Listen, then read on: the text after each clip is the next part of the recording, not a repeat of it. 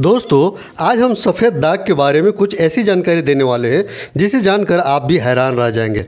अभी तक आपने लोगों को यह कहते सुना होगा कि मछली खाने के बाद दूध मत पीना, वरना सफ़ेद दाग पड़ जाएँगे।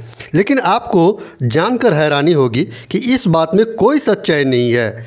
सफ़ेद दाग, जिसे मेडिकल की भाषा में विटिलिगो कहा जाता है। असल में त्वचा से संबंधित एक रोग है, जिसका खान पान से कोई संबंध नहीं है। तो आखिर क्या है सफ़ेद दाग? इसके लक्षण, इससे जुड़ी मिथक और इनकी हकीकत जानने के लिए आगे बढ़ते हैं। सफ़ेद दाग के लक्षण। त्वचा पर छोटा सफ़ेद दाग जो समय के साथ बढ़ता जाता है। मुख्य तौर पर शरीर का वह हिस्सा जिस पर सीधे सूर्य की रोशनी पड़ती है। एक व्यक्ति जिसको पहले से ही सफ़ेद दाग हो और उसी दाग पर चोट लग जाने से सफ़ेद दाग बढ़ जाए तो डॉक्टर के पास तुरंत जाना चाहिए। इस तरह के सफ़ेद दागों में दर्द नहीं होता है और खुजली भी नहीं होती, लेकिन जब धूप में आते हैं तो जलन होना शुरू हो जाती है। बालों का समय से पहले सफ़ेद होना। मिथक मछली खाने के तुरंत बाद दूध पीने से सफ़ेद दाग हो जाते हैं। सच्चाई तो ये है, विटिलिगो यानी सफ़ेद दाग एक ऑटो इम्यून सिंड्रोम है, जो भोजन से संबंधित नहीं है। सर गंगाराम अस्पताल के डर्मेटोलॉजिस्ट डॉक्टर रोहित बत्रा ने जब इस बारे में सवाल पूछा गया तो उन्होंने इस सिरे से बिल्कुल नकार दिया और कहा कि मछली खाने के बाद दूध पीने से सफ़ेद दाग पड़ने की बात पूरी तरह से गलत है, क्योंकि सफ़ेद दाग असल में त्वचा से संबंधित एक रोग है। मिथक नंबर दो, सफ़ेद दाग वाले लोग मानसिक या शारीरिक रूप से कमज़ोर होते हैं। सच्चाई तो ये है, विटिलिगो पूरी तरह से त्वचा तक सीमित है। यह शरीर के किसी अन्य अंग को मानसिक या शारीरिक रूप से प्रभावित नहीं करता है। मिथक नंबर तीन, सफ़ेद दाग एक प्रकार का कुष्ठ रोग है और दूसरे में भी फैलता है। सच्चाई तो ये है कि सफ़ेद दाग कुष्ठ रोग से जुड़ा नहीं है।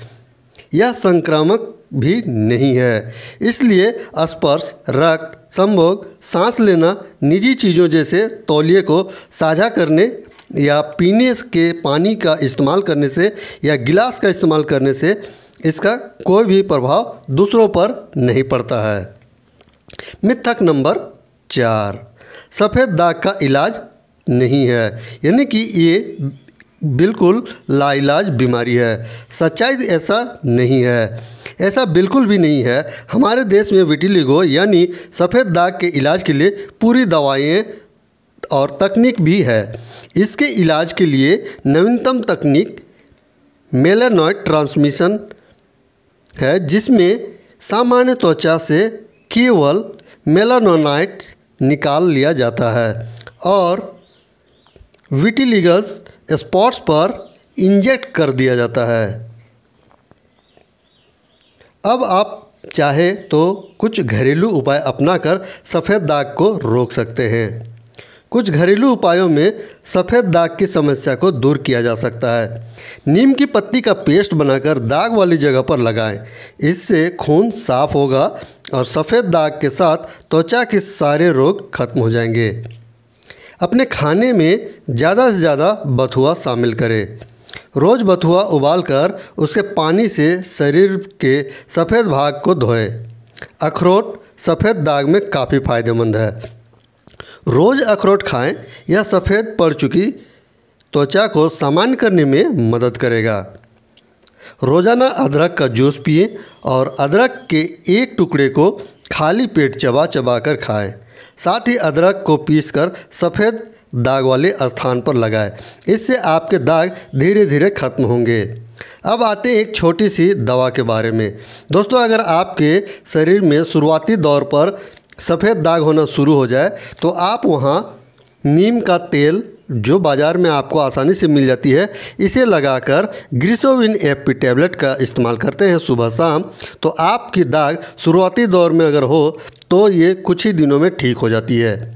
तो आपने जाना कि सफ़ेद दाग क्या है और इसकी सच्चाई क्या है।